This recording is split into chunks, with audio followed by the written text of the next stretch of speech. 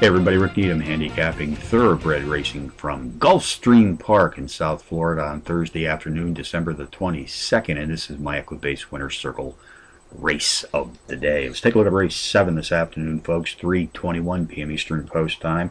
It's a mile test on the turf, three-year-olds and up race for an optional claiming prize of some $64,000. Tenors number 6, Little Mike, number 1, Yankee Fortune, number 5, Clement Rock, and number 8, Guy's Reward.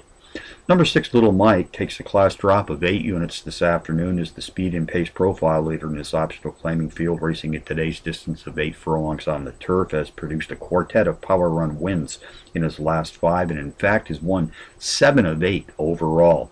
Jockey Joe Bravo was in his irons for all eight of those races with those seven wins producing a positive 416% return on investment in the process.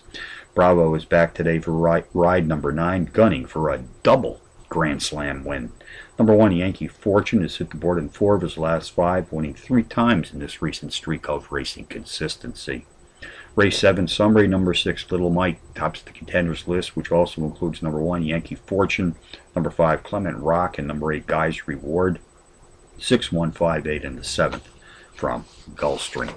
Bonus long shots, Turfway Park, race 2, the 6 to 1 shot. Number 9, Motion to Dismiss, the overall speed leader in this claiming field, racing at today's distance of a mile on the cushioned dirt.